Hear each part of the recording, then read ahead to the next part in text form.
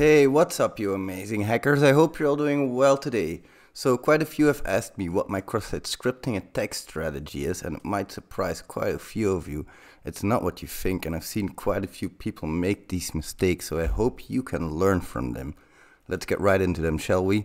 So, the first mistake I see quite a lot of people make is they go online, they look for cross-site scripting payloads, they copy the first list that they see and they paste it everywhere that they can, or they take Intruder or something, and they just go at it that way and think that they can quite, uh, find quite a lot of uh, cross-site scripting attacks like that.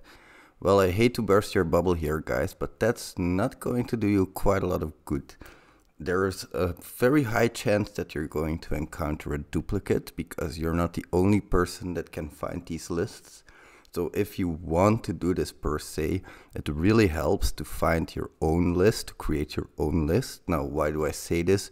First of all, 99% of the lists that I see there are purely aimed at HTML injection. That's not how cross-site scripting works, guys. HTML injection is a possibility, a possible entry point for cross-site scripting. But it's not the only way. You see quite a lot of people, uh, quite a lot of lists that list all of these HTML tags, and that's quite good. Of course, you need them as well, but you need to actually understand what you're doing. So my method of fuzzing would be to get just all the special characters that I can find and see if any of those catches or if any of those uh, cause any strange behavior. And then if you see a web application filter, your ear should go ringing because web application filters, they often mean that developers are trying to hide something that they weren't able to hide in code and they have to use a web application filter to hide that. So when you see one, try to dig a little bit deeper. That's usually a pretty good sign.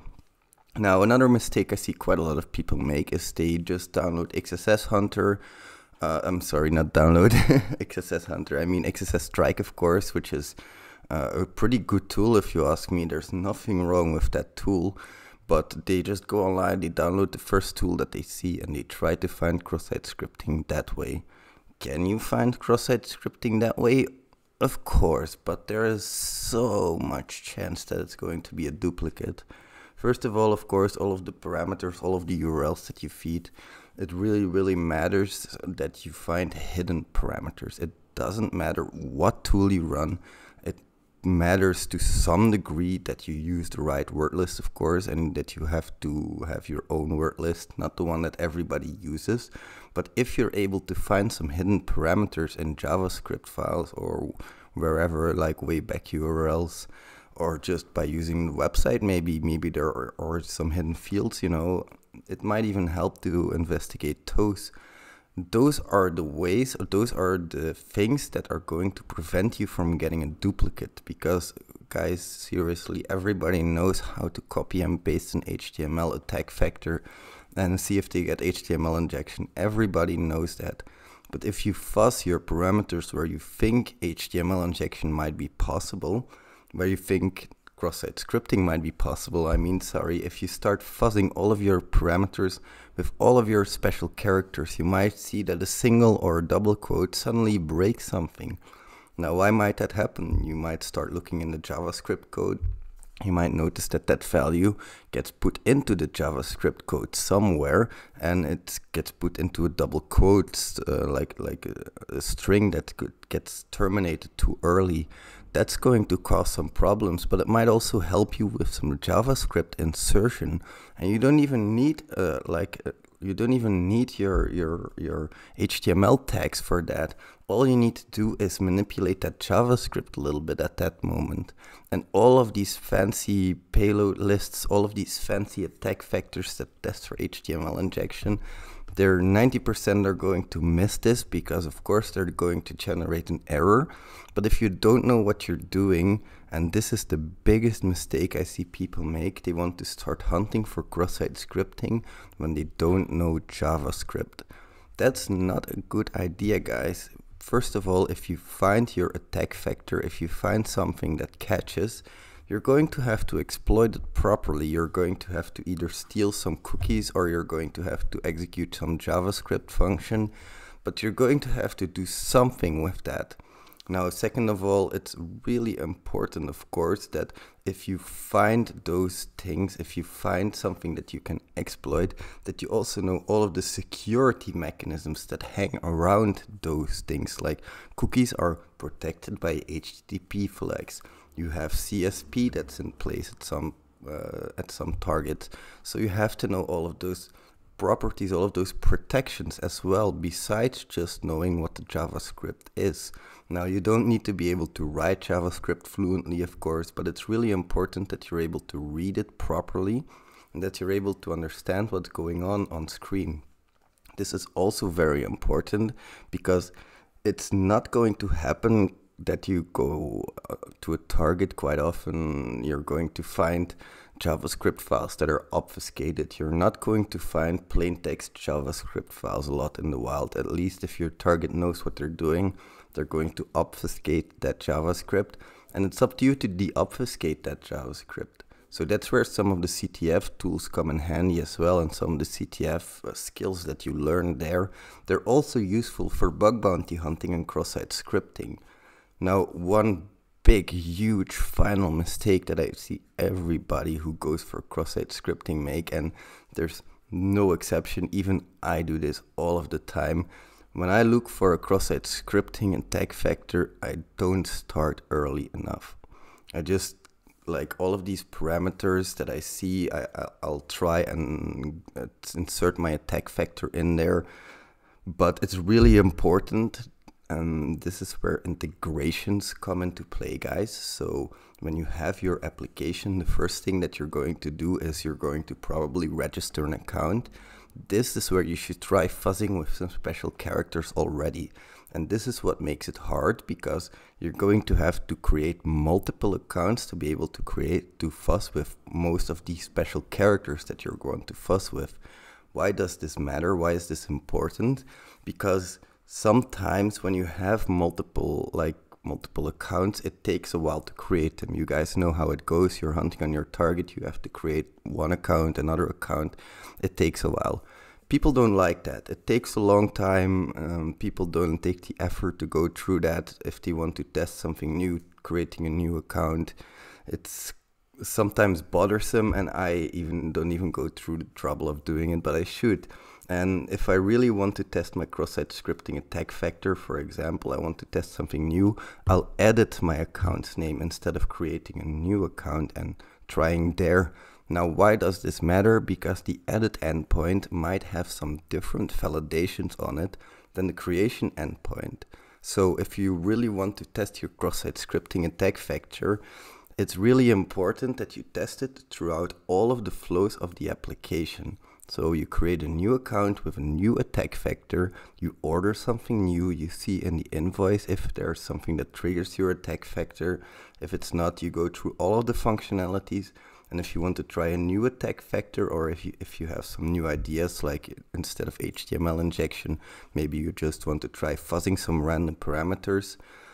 This like you just create a new account, you just go through the flows again, you create a new account, try to order a new item, try to get a new invoice, but you start over. And of course, you can edit them as well, but it's really important that you go through the flows all of the time.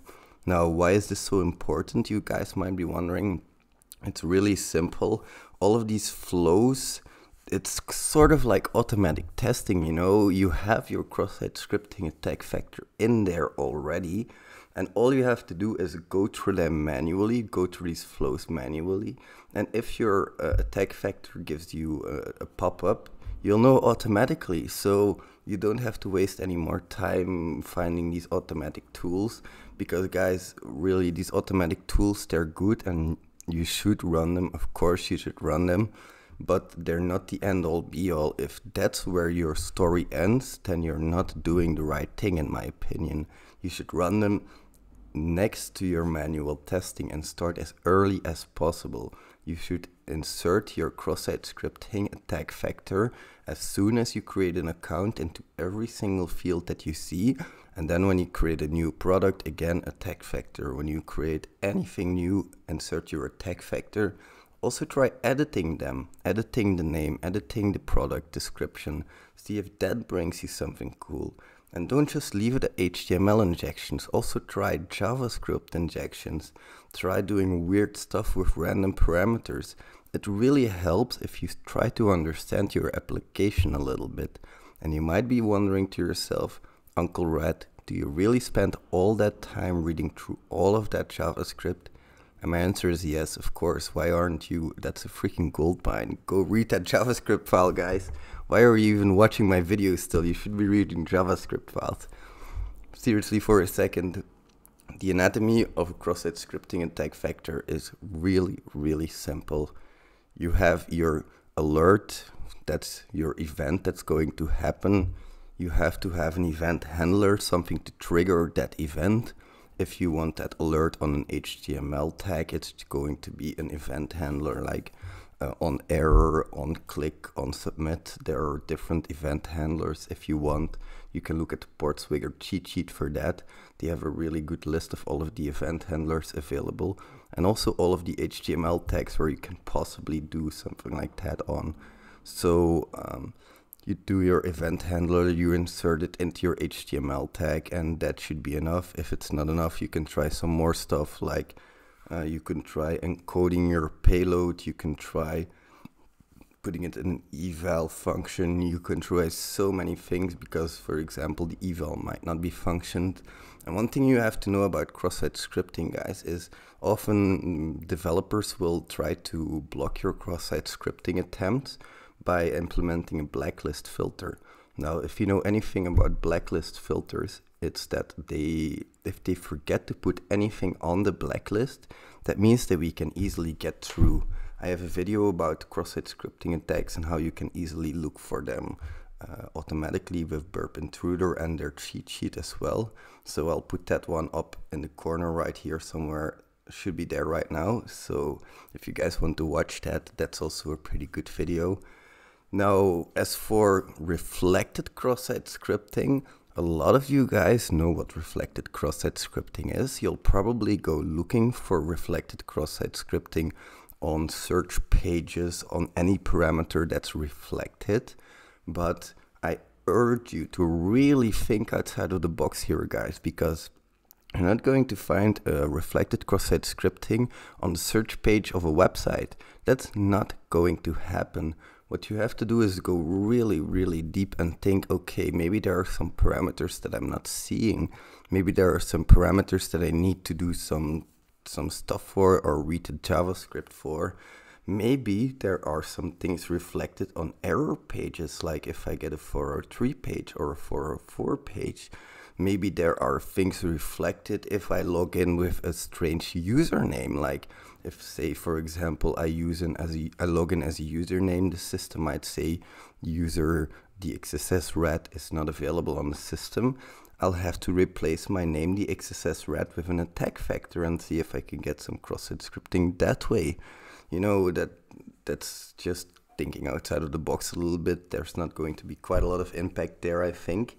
But you never know, of course. So I would really, uh, really urge you guys to just stay curious, stay exploring, and stay freaking amazing. I hope I'll see you guys later. Bye, amazing hackers.